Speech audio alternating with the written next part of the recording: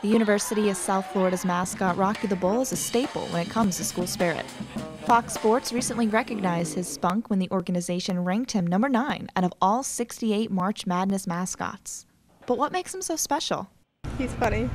Like he his move his body language, the way he moves, the way he expresses himself is very similar to the way we feel, I guess.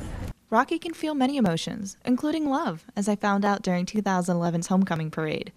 But when it comes to national notoriety, how does he feel?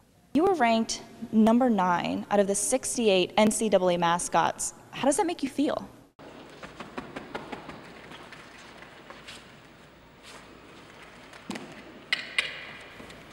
Rocky may be a bull a few words, but his fans filled in the blanks energetic. He's always he's always wilding. He's always yeah, going he's out. Always he's always out with the crowd. He's always trying to get involved. He's not just like staying in front, like not moving and stuff. He's yeah, just on the sideline, just everywhere. standing there. He's everywhere.